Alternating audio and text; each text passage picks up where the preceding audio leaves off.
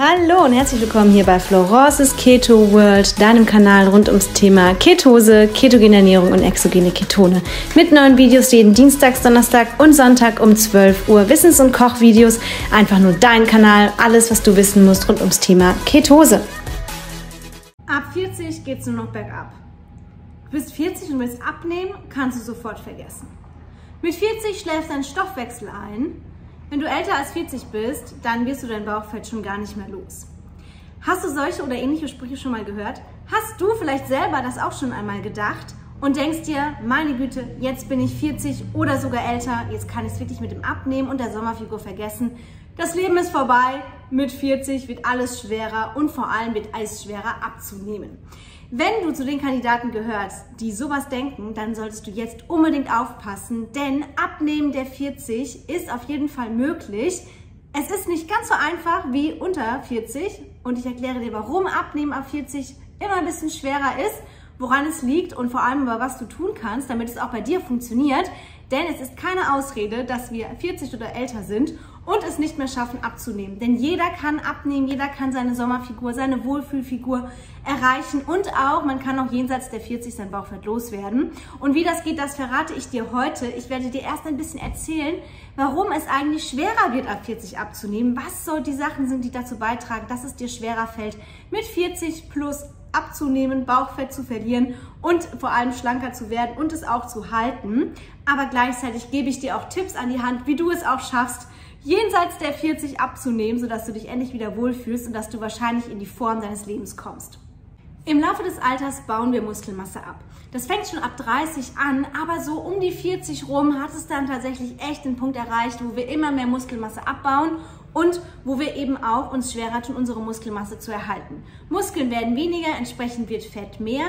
Unser Gesamtverbrauch sinkt, denn je weniger Muskeln wir haben, desto geringer ist auch der Stoffwechsel bzw. der Grundverbrauch. Denn Muskeln verbrauchen ja auch Energie im Schlaf, mehr als Fett und entsprechend haben wir weniger Muskeln, haben wir auch einen geringeren Ruheverbrauch, den wir ja über die Muskeln an sich eigentlich erhöhen können. Deswegen der Verlust an Muskelmasse, der im Alter völlig normal ist und jedem passiert, nicht nur dir, keine Sorge, das führt zwangsläufig dazu, dass wir einfach weniger Kalorien in Ruhe verbrennen, weil Fett verbrennt einfach keine Kalorien.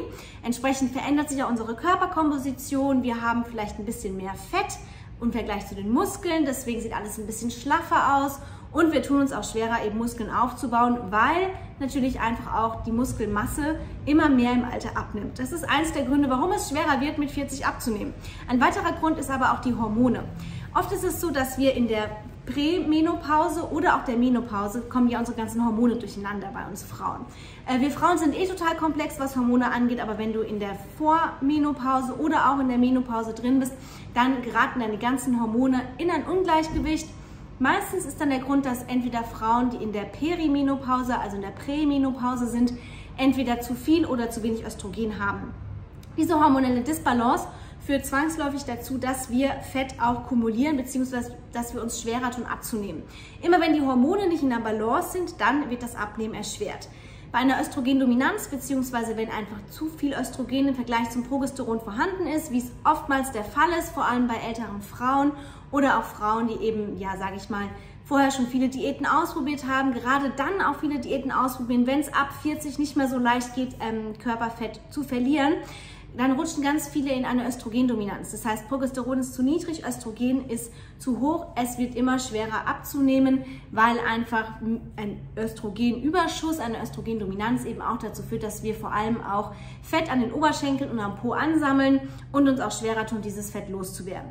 Haben wir allerdings zu wenig Östrogen und zu viel Progesteron, ist es genau das Gleiche. Dann fangen wir auch an, eher Körperfett einzulagern, anstatt Fett zu verlieren und wir tun uns immer schwerer mit dem Abnehmen. Das heißt, diese hormonelle Disbalance, die wir haben, die sorgt dafür, dass wir vor allem auch am Bauch Fett ansammeln. Und ähm, viele, die vielleicht auch schon auf die 40 zugehen oder über 40 sind, die stellen irgendwann fest, oh nee, also der Bauch ist gar nicht mehr flach, sondern ich fange tatsächlich an, am Bauchfett anzusetzen, was vorher nie der Fall war. Das ist alles hormonell bedingt. Und wenn wir es eben schaffen, uns so zu ernähren, dass unsere Hormone in der Balance bleiben, dann wiederum wird es auch leichter, ab 40 abzunehmen. Wenn du dich in der Menopause befindest, also in den Wechseljahren, Dann kommt noch erschwerend hinzu, dass der Körper eben anfängt, weniger von den Sexualhormonen zu produzieren, dafür aber ergänzend mehr Insulin. Und mehr Insulin, naja, das führt eben zwangsläufig auch zu einer erhöhten Einlagerung. Ähm, das führt eben auch dazu, dass wir mehr Grillin, ähm, also das Hungerhormon, eben auch produzieren. Entsprechend ist es so, dass wir da eben dann auch ja, mehr Hunger, mehr Appetit haben, wenn wir in der Menopause sind, was eben dann auch dazu führt, dass wir wahrscheinlich mehr essen, mehr Heißhunger haben, mehr Gelüste haben und somit auch eben zunehmen. Das kann man aber alles durch die richtige Ernährung ausbalancieren. Aber dieses Hormonungleichgewicht, was eben leider auch passiert und was eben jede Frau erlebt, das macht es für Frauen ab 40 etwas schwerer abzunehmen. Ein weiterer Punkt ist eben auch das Thema Stress. Je älter wir werden, desto schlechter werden wir darin, mit Stress umzugehen. Es ist nun mal auch ein Phänomen, das mit dem Alter kommt. Das bedeutet auch mehr Stress führt zu einer erhöhten Cortisolproduktion. Cortisol wiederum, das Stresshormon, das sorgt dafür, dass wir auch viel mehr Insulin ausschütten. Je mehr Insulin wir haben, Insulin ist wieder das einspeichernde Hormon, desto mehr lagern wir ein. Vor allem auch wird ein Überschuss an Cortisol vor allem gerne in Form von Bauchfett eingelagert. Wir haben auch wieder diesen Stressbauch oder diesen kleinen Bauchansatz, den ganz, ganz viele Frauen ab 40 auch plötzlich erleben. Ein weiterer Faktor ist das Thema Schlaf. Je älter wir werden, desto schwieriger wird es auch mit dem Schlaf. Einfach, es geht nicht um die Länge vom Schlaf, sondern es geht um die Qualität des Schlafs. Und ähm, es ist eben so, wenn wir eine gute Tiefschlafphase haben, also wenn wir es schaffen, eine Tiefschlafphase zu optimieren, dann wird es auch leichter mit dem Abnehmen, denn in der Tiefschlafphase findet die Fettverbrennung statt. Haben wir eine zu kurze Tiefschlafphase, dann kann die Fettverbrennung nicht richtig funktionieren. Schlafen wir nicht gut, werden wir oft wach, haben wir vielleicht auch einfach öftere Unterbrechungen in der Nacht, wird auch der, die Produktion von Hunger- und Sättigungshormon gestört. Das bedeutet, wir haben eine vermehrte Produktion von Grelin, wieder in dem Fall dem Hungerhormon. Wir haben über den Tag hinweg mehr Hunger. Jeder kennt das vielleicht, wenn man zu kurz schläft, wenn man schlecht geschlafen hat, dann kann man am nächsten Tag irgendwie auch alles Mögliche essen, weil einfach man viel mehr von dem Hungerhormon produziert. Das Sättigungshormon kann nicht richtig wirken. Entsprechend haben wir auch vermehrt Hunger, was eben dazu führt, dass wir auch mehr essen oder eben auch, naja, vielleicht nicht ganz so die smarten Sachen essen und entsprechend dann auch ja, vermehrt eben an Fett ansetzen. Schlaf ist sehr, sehr wichtig, nicht nur für die Regeneration, aber eben auch für die Fettverbrennung, vor allem die Tiefschlafphase. Es gibt verschiedene Methoden, wie wir die Tiefschlafphase optimieren können. Dazu komme ich gleich, weil das ist dann einfach die praktische, äh, ja, praktische äh, Umsetzung von dem, wie du es schaffst, auch jenseits der 40 Fett zu verbrennen. Wir, unser Schlaf ist eben auch oft gestört, wenn wir Kinder haben oder wir müssen öfter auf Toilette. Dann gibt es vielleicht diese hormonellen Ungleichgewichte, auch in den Wechseljahren zum Beispiel, wo wir dann auch irgendwie Nachtschweiß haben oder Hitzewallungen. Die alles können den Schlaf stören. Hormonelle Disbalancen oder auch wenn die Hormone eben nicht ganz so im Gleichgewicht sind, dann hat das auch einen Einfluss auf unseren Schlaf. Zu viel Stress, Cortisol hat auch wieder einen Einfluss auf den Schlaf. Wir werden nachts oft wach, wir haben ein erhöhtes Stresslevel, wir können nicht so richtig schlafen, wir tun uns schwer mit dem Einschlafen und so weiter und so weiter. Das sind alles Gründe, die miteinander einhergehen, tatsächlich. Und je schlechter wir regenerieren, je schlechter wir schlafen, desto schlechter ist das auch für die Muskelmasse, für den Muskelerhalt es, ihr seht, das spielt alles irgendwo ineinander und das Ganze wird einfach ab 40 erschwert. Es ist einfach leider so. Aber wir sollten es eben nicht negativ betiteln, sondern auch als was Positives sehen, denn es gibt einiges, was wir tun können. Ein weiterer Grund ist auch noch, das beginnt allerdings schon ab 30, dass wir weniger HGH produzieren. Die HGH, also Wachstumshormonproduktion, geht ab 30 drastisch nach unten. Das bedeutet, wir produzieren weniger von dem Wachstumshormon, dem Anti-Aging-Hormon und auch dem Hormon, was eben beim Muskelaufbau hilft, Fettverlust hilft ja, davon produzieren wir einfach ab 30 weniger, aber auch da gibt es ein paar Kniffe, wie wir die HGH-Produktion ankurbeln können. Die Frage, die du dir jetzt wahrscheinlich stellst, ist ja, aber was kann ich denn jetzt tun? Ich bin 40 oder älter und möchte gerne was für meinen Körper tun. Ich möchte mich wieder wohlfühlen, ich möchte wieder mich ansehen können im Spiegel und ich möchte endlich, endlich mal diese Fettpölsterchen loswerden, aber halten sich total hartnäckig. Ja, es gibt ein paar Dinge, die du tun kannst. Natürlich muss man sich alles immer sehr individuell anschauen. Also ist jeder Mensch ist anders, nicht für jeden gilt das Gleiche. Man muss sich die Hormone individuell anschauen. Das bedeutet, alle Empfehlungen, die du hier bekommst, sind nur Richtwerte. Du musst selber ein bisschen ausprobieren, was für dich am besten passt. Was für jeden allerdings auch Sinn macht, egal in welchem Alter, ist Krafttraining. Krafttraining sollte vor Cardiotraining priorisiert werden. Ganz viele, vor allem Frauen, machen einfach den Fehler, in Anführungsstrichen, gut gemeinten Fehler, dass sie eben sehr viel Cardio-Training machen, um möglichst viele Kalorien zu verbrennen, gleichzeitig weniger essen. Das führt aber auch nicht dazu, dass wir ganzheitlich Muskeln aufbauen oder Muskeln erhalten und auch kein Fett verbrennen.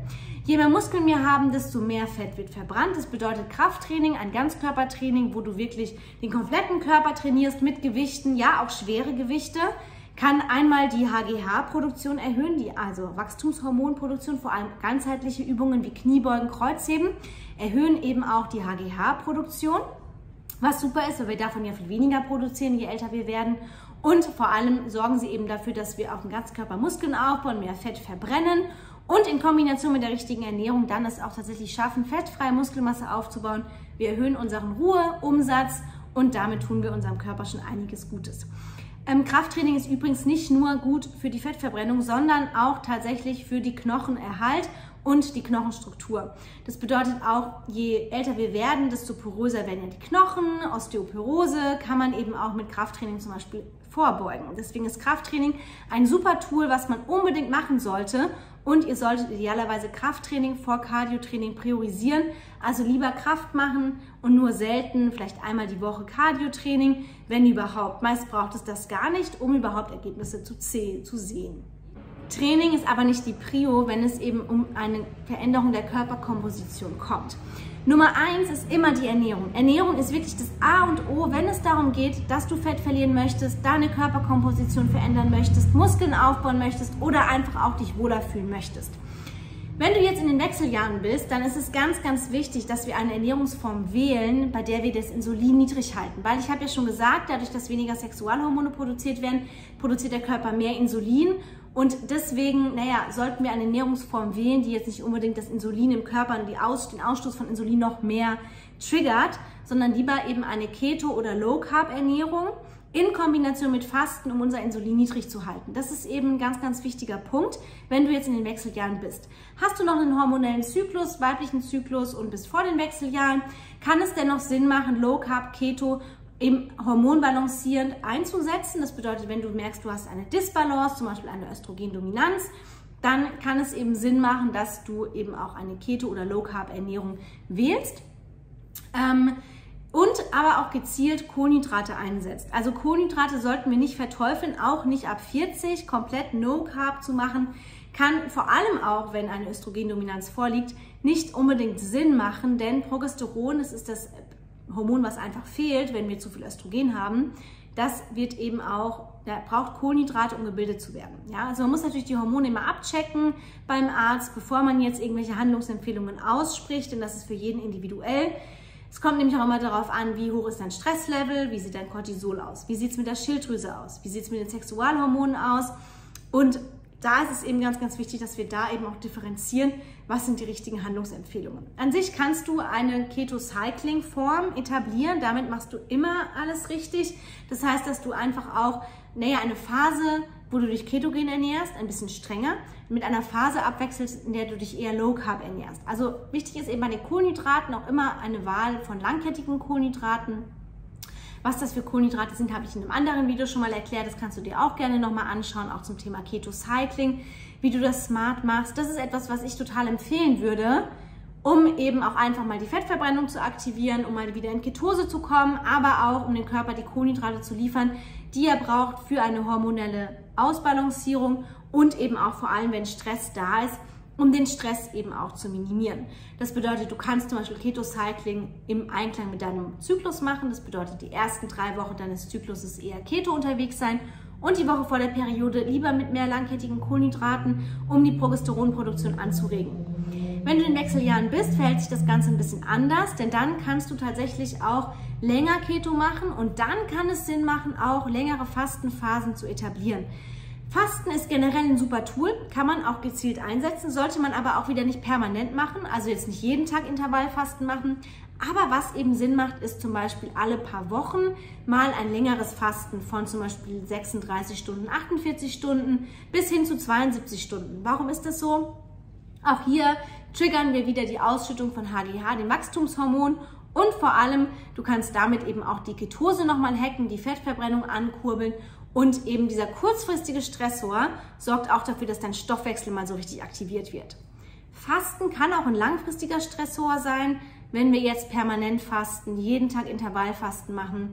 Du solltest auch eben, wenn du älter bist, deinen Körper immer so ein bisschen triggern, schocken, indem du mal fastest, mal nicht fastest, indem du mal Keto machst, mal nicht Keto machst. Aber natürlich ist die Lebensmittelwahl ausschlaggebend. Möglichst unverarbeitetes, kein Zucker, wenig Alkohol. Ja, ich weiß, das ist jetzt für viele wahrscheinlich hart, weil man trinkt mal gerne so einen Sundowner oder ein Gläschen Wein, aber alles halt in Maßen. An Kohlenhydraten, antientzündliche Kohlenhydrate wählen, glutenfreie Sachen. Milchprodukte auch, nur aus Weidehaltung oder zum Beispiel Schafs- oder Ziegenmilch. Ne? Hochwertiges Fleisch, ähm, viel Gemüse, ganz bunt essen, viele Gemüse und Pflanzenstoffe, das ist eben was ganz, ganz Wichtiges. Man kann auch supplementieren, dazu komme ich dann gleich. Die richtige Supplementierung kann nämlich auch Sinn machen. Vor allem eben, um die Hormone auszubalancieren, kann es Sinn machen, eine gewisse Supplementierung hinzuzunehmen. Dazu gibt es auch zum Beispiel so Adaptogene, das sind eben Pflanzenstoffe, Pilze vor allem, die man eben ergänzend hinzufügen kann. Hormonausbalancierte Adaptogene, also Pflanzenstoffe, sind zum Beispiel Mönchspfeffer. Das wird sehr gerne eingesetzt. Das wird vor allem auch bei PMS-Beschwerden eingesetzt, also prämenstruellem Syndrom. Also wenn du eben Beschwerden hast vor der Periode oder auch während deiner Periode, starke Schmerzen oder auch ein Ungleichgewicht zwischen Östrogen und Progesteron. Sehr, sehr cool ist auch der sogenannte Cordyceps. Das ist ein Pilz. Der kann auch Östrogen ausgleichend wirkend und hormonausgleichend, gleichzeitig auch stressreduzierend. Denn wenn du Stress hast, dann ist es noch, noch wichtiger, dass du möglichst viele Proteine zu dir nimmst, hochwertige Fette, kein Zucker, keine Snacks, keine verarbeiteten Kohlenhydrate, langkettige Kohlenhydrate, antientzündliche Kohlenhydrate bevorzugen und diese vor allem abends. Kohlenhydrate abends können nämlich auch den Schlaf optimieren. Schlaf ist ja auch so ein Faktor von den vielen, die ich am Anfang aufgezählt habe, die eben eine Rolle spielen, wenn wir eben auch älter werden. Und Schlaf kannst du eben optimieren, indem du zum Beispiel auch Kohlenhydrate gezielt am Abend einsetzt oder indem du zum Beispiel Magnesium am Abend nimmst, indem du vielleicht vor dem Schlafengehen nochmal einen Proteinshake zu dir führst, einfach mit ein paar hochwertigen Fetten, um in der Nacht auch einen stabilen Blutzucker zu bewahren. Und dann natürlich solche Sachen wie Blaulichtfilterbrille, generell Blaulicht meiden, nachts vielleicht bestimmte Schlafrituale schaffen, wie nochmal ein Buch lesen und auch eine dunkle Umgebung, eine kühle Schlafumgebung, ein bequemes Bett und so weiter. Hört man ja alles, wird aber tatsächlich ab 40 nochmal deutlich wichtiger. Denn da ist es nicht mehr einfach so, mal im Zelt schlafen oder mal auf der Couch schlafen. Schlaf sollte für dich die oberste Priorität haben. Um deinen Schlaf optimal zu tracken, kannst du auch so einen Aura-Ring zum Beispiel zur Hand nehmen. Das ist etwas, damit kannst du die Tiefschlafphase, die REM-Phase, also die Rapid Eye Movement Phase, das ist die Phase, in der vor allem das Gehirn regeneriert und eben in der wir auch träumen, ähm, tracken und dann eben schauen, verläuft das alles optimal. Das sind eben auch so ein paar Kniffe, vor allem auch mit der Ernährung kannst du eben deinen Schlaf maßgeblich optimieren. Das heißt idealerweise Kohlenhydrate, wenn dann am Abend, nämlich um einmal auch Stress zu reduzieren, um die Hormone auszubalancieren, um den Schlaf zu optimieren, kann das alles Sinn machen, langkettige Kohlenhydrate vor allem abends zu nehmen. Du musst jetzt nicht jeden Tag Kohlenhydrate essen, aber jeden anderen Tag oder auch nach dem Training zum Beispiel können auch Kohlenhydrate extrem viel Sinn machen. Das heißt, verbanne Kohlenhydrate nicht unbedingt aus deiner Ernährung. Du kannst mal eine Phase Keto machen, dann aber wieder eine Phase Low Carb, dann wieder mal Keto oder eben einfach wirklich im Einklang mit deinem hormonellen Zyklus. Drei Wochen Keto, eine Woche Low Carb und tatsächlich auch ab und an mal Fasten. Äh, Training ist wichtig, haben wir schon gehört. Bei Stress ist das Training aber noch mal ein bisschen extra anzupassen. Also wenn du viel Stress hast, dann solltest du das Training auch entsprechend anpassen, indem du auf jeden Fall Krafttraining machst und auch schwere ähm, Gewichte nimmst, Übungen in niedriger Wiederholungszahl aber tatsächlich vielleicht nicht so lange Einheiten, sondern eher kürzere Trainingseinheiten und tatsächlich ähm, so High-Intensity-Workout oder lange Cardio-Einheiten, die lieber lassen, denn diese stressen den Körper nur noch zusätzlich. Das bedeutet eher auch ausgleichenden Sport machen, wie Yoga, Spazieren gehen, ganz entspanntes, lockeres Laufen, um wirklich eher die Entspannung zu triggern. Dafür besser am besten spazieren gehen statt jetzt joggen und keine langen Ausdauereinheiten oder wirklich intensive Trainingseinheiten machen. Dann kannst du eben auch zum Beispiel mit dem Cordyceps entgegenwirken. Das ist dieser Pilz. Rosenwurz ist auch eins der super Anti-Stress-Supplemente. Magnesium natürlich, Zink. Das sind alles so Supplemente, die einfach die Basics sind. Vitamin D. Damit kannst du eben schon sehr, sehr, sehr viel gut tun und sehr viel deinen Körper unterstützen. Ab 40 ist nicht alles verloren, mach dir darauf keine, darüber keine Gedanken. Ab 40 kannst du auch abnehmen, es ist immer möglich, aber eben die Hormonbalance spielt eine Rolle. Die Hormone müssen eben balanciert sein. Das Training muss passen, Stress muss passen, Schlaf muss passen. Es gibt also viele Faktoren, aber tatsächlich ist auch ab 40 eine Zeit, in der du vielleicht sagen kannst, okay, ich nehme mir auch mal ein bisschen mehr Zeit für mich, wenn die Kinder in der Schule sind oder vielleicht sind die Kinder auch dann schon bald aus dem Haus, wenn du schon älter bist dann kannst du sagen, jetzt nehme ich mir Zeit für mich und priorisiere tatsächlich meine Gesundheit und mein Wohlbefinden. Und dann kannst du auch noch jenseits der 40 deine körperlichen Ziele erreichen. Und wenn nicht, Wohlbefinden, Gesundheit hat immer Priorität Nummer eins. Das bedeutet, es geht immer um Gesundheit, um Wohlbefinden vor der physikalischen Veränderung Form follows Function heißt es auch so schön. Das heißt, die Funktion deines Körpers, die Funktion gesundheitlich gesehen und auch, dass du dich bewegen kannst, dass du wirklich auch dich wohlfühlst, dass du gut schläfst, dass du den Stress minimierst. Das sind alles wichtigere Punkte. Die Form kommt dann wie von selbst. Ich hoffe, das Video hat dir irgendwie gefallen und ein bisschen auch geholfen, vielleicht ein paar Tipps an die Hand gegeben, was du machen kannst. Es ist tatsächlich nicht so schwer und es gibt ganz, ganz viele Zeitschriften, die alles Mögliche erzählen, aber glaub mir, hier sind echt die besten Tipps aus meiner Erfahrung und aus dem, was ich weiß zum Thema Hormone, die eben auch tatsächlich, wenn wir älter werden, durcheinander kommen. Wenn dir das Video gefallen hat, dann lass mir gerne ein Like da, kommentiere mir gerne deine Gedanken und Fragen unter dieses Video. Ich helfe dir sehr, sehr gerne weiter. Wie gesagt, muss man sich das auch immer individuell anschauen, aber ich habe auch ganz viele Coaching-Kunden, die einfach zu mir kommen und die auch älter sind als 40 und die halt sagen, hey, okay, ich möchte jetzt was machen und da schaffen wir es eben auch, dass sie abnehmen, dass sie ihre Ziele erreichen. Also es ist möglich, Sag niemals nie und lass dich vor allem von solchen Sprüchen wie ab 40 geht's abwärts oder ähnliches einfach nicht verunsichern. Ich freue mich, wenn du nächstes Mal wieder reinschaust. Abonniere den Kanal, damit du auch immer aktualisierte Infos bekommst, wenn ein neues Video von mir erscheint. Und ansonsten wünsche ich dir was und dann bis ganz bald.